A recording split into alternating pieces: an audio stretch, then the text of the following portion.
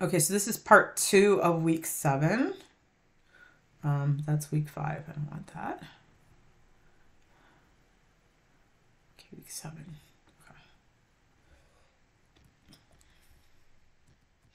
And we are going to actually do um, an, an association analysis. Okay. So here is some data, and there's five transactions. And in the five transactions, this, by the way, is what's called transactional data. Um, instead of like each thing being a column, you get like what the person bought. It's kind of like the receipt, basically, in a strange way. So there's five transactions, and this is what was purchased in each transaction. So let's say it's a store that just sells A, B, C, D, E. That's all they sell is like five items. So transaction one, they bought A, B, and C. Transaction two, they bought B, C, D, and E. Transaction three, they bought A, C, D. Again, the quantities aren't, they might have bought 10 of A, but we don't know. We just care whether they bought A or not. Um, and so this is what they bought in each of the five transactions. So the way this is set up, you can't analyze it directly. So you have to restructure it. This is where the data wrangling kind of skills come in. But, um, so this is just the same data again. I just put in Excel and, and babied it up. Okay, so here I took the data and I reformatted it. This is how it needs to look for using for association analysis. So this is your transactional data, okay, which is how you will often get this, I think, because I don't know, I'm sort of faking it because honestly, I've never done like retail sales analysis or something like that, but um, I would imagine that their data will look like this. It's called transactional data, and I think that this this does it. But what you have to do in order to do your association analysis is this. You have to take the transactions and do the individual items and then do a binary column for just put one in, don't put zero in, and I'll actually explain why. Usually you would actually fill in like one for yes and zero for no, but don't put that in there. Um, and the reason being that if you put in the zeros when you do your association analysis, it's going to analyze both cases, which you don't necessarily want because you only care about the they did purchase A, you actually don't care about the fact that they didn't. And if you put the zeros in, the at least oranges, I don't know about all other software. I only know about orange because that's all I know how to run this. In. Um, it will do like a bunch of analysis that you don't want on the A equals zero not bought, and you don't care about the not bought situation. You're not interested in analyzing that. So just do, set up the data like this and just put ones in. So the ones correspond with transaction one, three, and four bought A, so these have ones in them and then transactions one, two, and five bought B. See that? So um, it's pretty easy to sort of like program um, to do this or to set it up. That's something that we'll do in data wrangling. Again, is like actually exercising this. But I don't want this course. I mean, we only have so much time to learn so much in each course, and I don't want to like spend 90% of the data mining course doing the data wrangling work because it's just better to just put it into a separate course. Um, the data wrangling work applies to all courses everybody should take data wrangling. It's not going to be like as interesting a class in the sense that you're not learning like this super sexy kind of cool like data mining techniques, but data wrangling is like a super practical like how to repair your car kind of class. Um, so everybody should take that, but we're going to spend like the entire course is going to be like stuff like this. But anyways, that was an aside. So you want to set up this data set and this is what you want to use for association analysis. Um, you can have this in Excel and like you can do if then statements to create these flags, or if it's a small data set, you can just do it by hand or whatever. It's not that hard. Um, so don't do this though. Don't put the zeros in. I actually did this when I was learning how to do this last summer and it works, but I mean, the only reason you would ever want to put the zeros in is if you actually care about the case of them not buying things, which you might, but I don't for what we're doing. So just don't put the zeros in. Okay. Um, zeros are then included and and you include essentially bought and not bought and you make your analysis way more complicated than you want. So just don't put them in. Okay. And when you do association analysis um, for the most part i don't know if there are specific sales examples when it matters. What is the antecedent and consequent or arbitrary? In other words whether somebody bought an apple and then a banana and a banana and then an apple it's arbitrary. Um, and the other thing again is that multiple quantities don't matter. So six apples are the same as purchasing one apple because you're looking at associations. We're not analyzing quantities, which is a statistician. I'm used to like quantities and frequencies based on quantities and stuff, but we're not doing that. We're just doing it based on yes, no. Okay. Um, so once your data is all set up, you can start actually doing this. So association analysis, use the association rule A to B where A and B are mutually exclusive again, no common analysis. So we don't look at like bananas to bananas, and we don't look at like bananas to bananas and oranges. If we're doing bananas to bananas and oranges, we do banana and orange. We don't like we don't include bananas in both of them. So you don't want to have like apples, bananas, and bananas, oranges. No, because you don't want to have the same element. They have to be mutually exclusive means they have no common elements. Okay.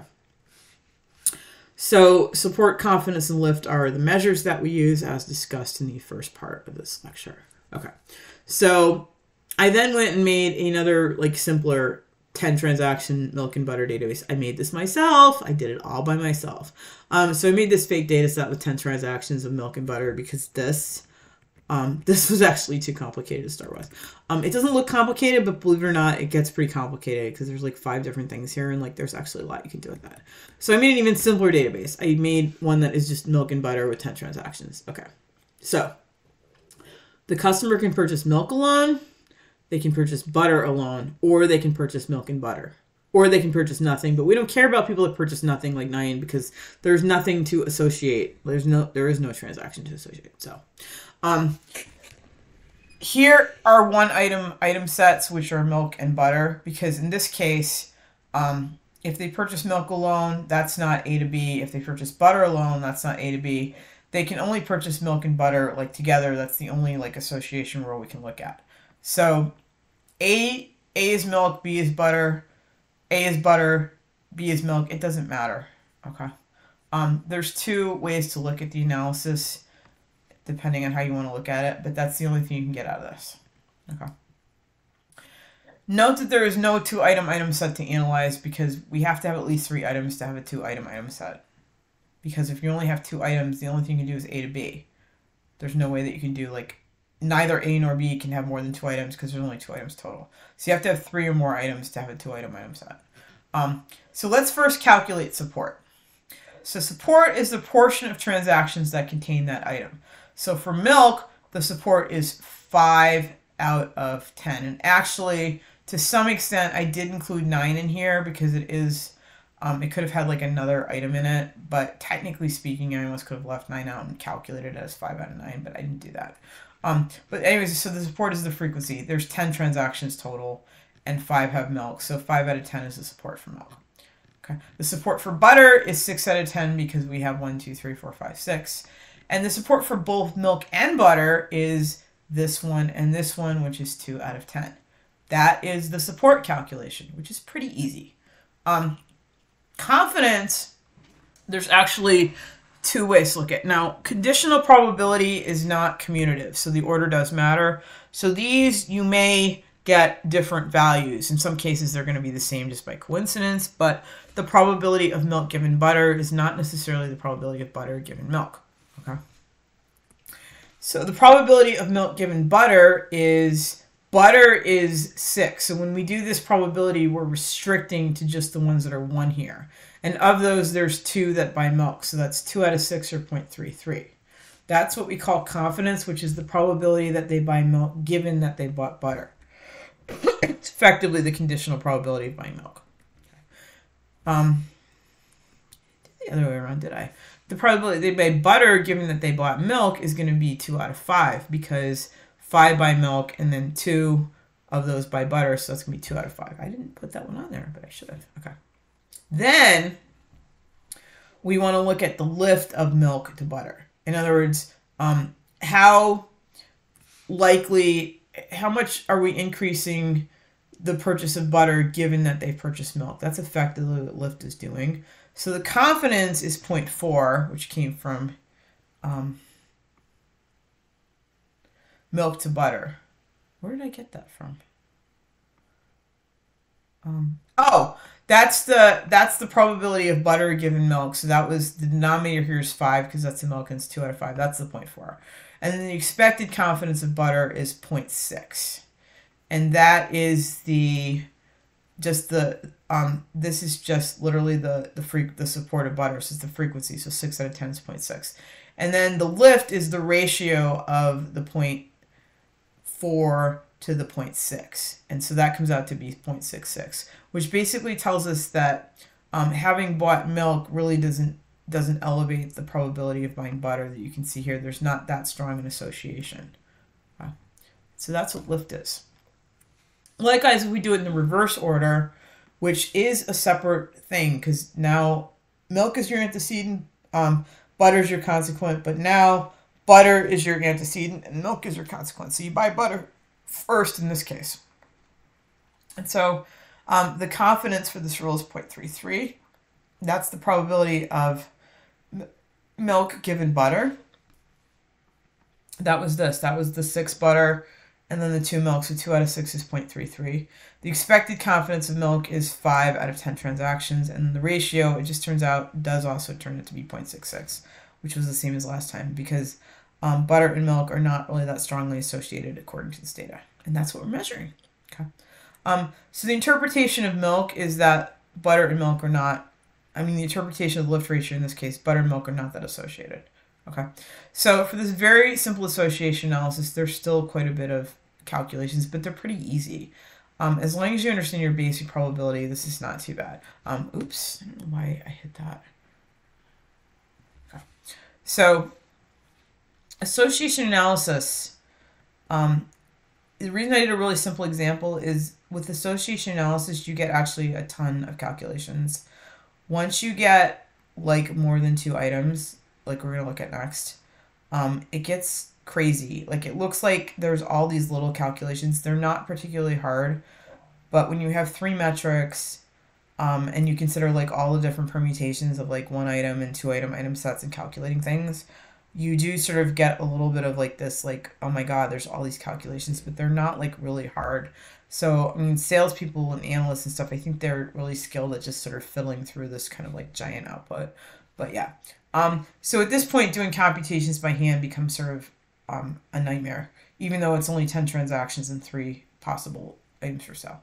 So I went into Orange and did this, and you're like, oh my God, look at that. So what this is, is um, the antecedent can be apple, butter, or apples right? So you consider these in all orders. So you consider one item item sets, apple, butter, or apples, or milk and butter, butter and apples, or milk and apples, or all three. So you have one, two, three, four, five, six different possible things. And so you have one, apples, butter, milk, two items, two items, two items. They actually don't have they don't have the three items in here because um there is one that they don't have oh this one doesn't have three items because to have to have a three item set, you need to have four items, and there is no.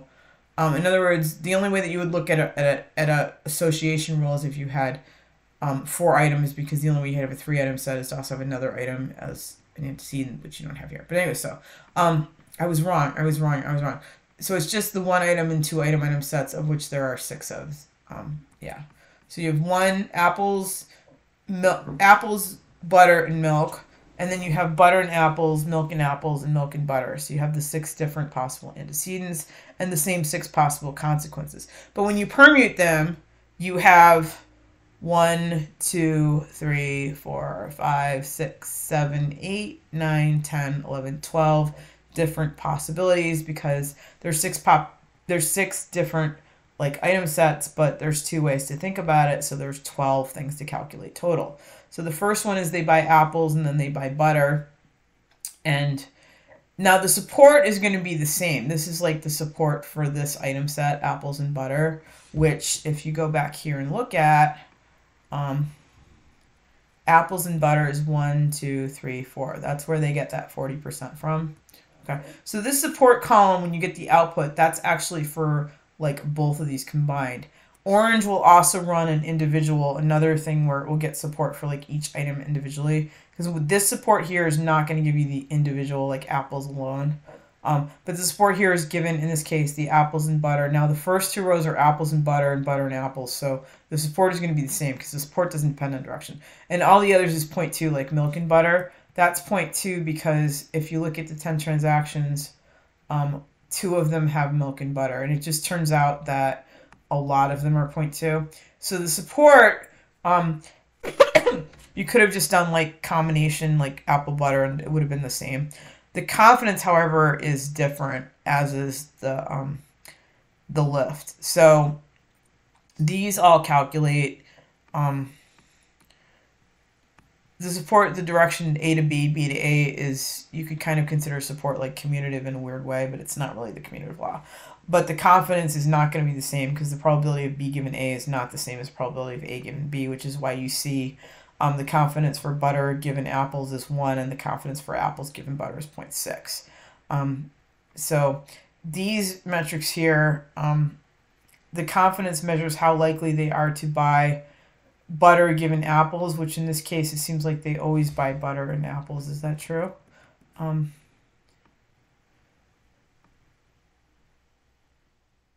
yeah, so if they buy if they buy two if they buy apples, it turns out if you look at the apples, they've always bought butter. That's why you have a confidence of one. Okay. Um and so the lift ratios are low. I'm not going to go over exactly how to calculate it, but the most likely, the highest lift ratio is apples given butter and milk. Um, so that tells you that this is the one that's like strongest. Buying apples is most strongly associated with butter and milk. And you kind of have to go back and like think about the individual like transactions. And this is what like marketing and salespeople do, I guess. Um, but they're sort of helpful little metrics that tell you how things are associated. Um, so the higher the lift, the stronger the association. Um, the support really just measures popularity. And so all three of these are measures of association and sort of different ways of looking at association, and you can use them for like planning to sell people stuff. Okay. Um, so let's look at some interpretations of this.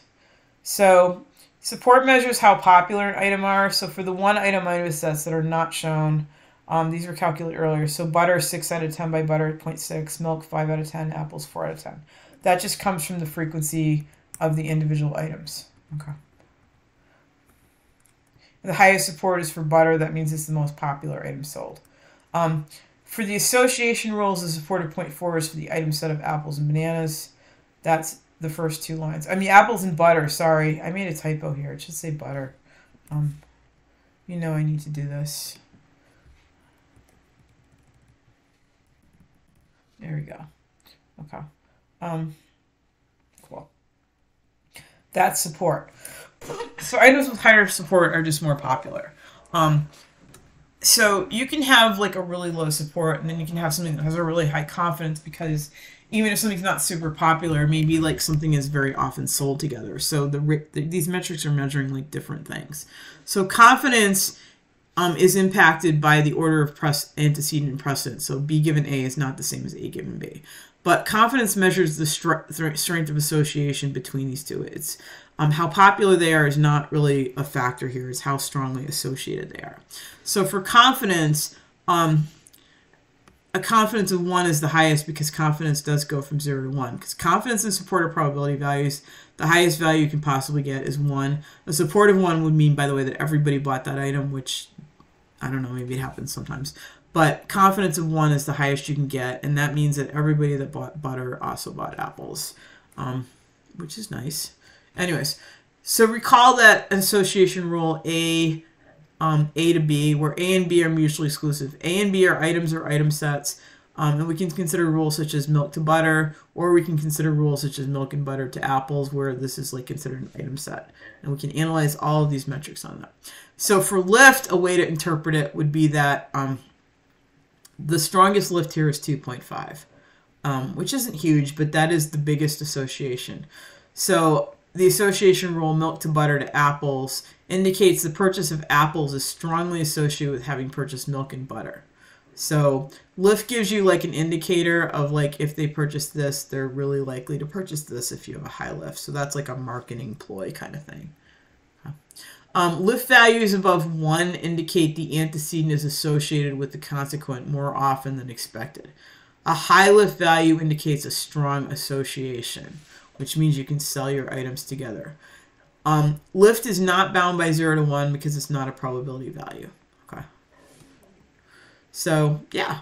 And then our final thing is to look at practical applications of association analysis, such as market basket analysis. Um, market basket analysis, I think, is a really huge thing in sales and marketing, which is one of the reasons why I think business students should be in a data mining class, because um, particularly business students in marketing that will be doing some type of like analyzing stuff that sells, because I think that's what you guys do like for a living. Um, so analyzing buying behavior and preparing selling strategies, which of course ultimately results in you or your company making more money, which is the whole part of the game. Okay. Other applications of association may mean to um, to work with fraud detection to look at um, unusual patterns. So maybe like certain purchases are associated with like fraudulent transactions. Um, fraudsters, I guess, buy certain things or do certain things. Um, healthcare, again, the the issue of like symptoms that can go together that are associated with like a certain like COVID associated with certain like losing taste and things like that. Um, and so um, this association analysis, I think it's really cool. Um, I never used this before. I have to tell the truth. I mean, I'm not like cluster analysis I've used for like 20 years. I mean, not continuously, but clusters analysis is like it's in my master's degree, like, you know. Um, but association analysis I think is super cool and I think business students should really learn this. Um, it's not hard either. Anyways, cool. So that is the end of the like theory part of association analysis.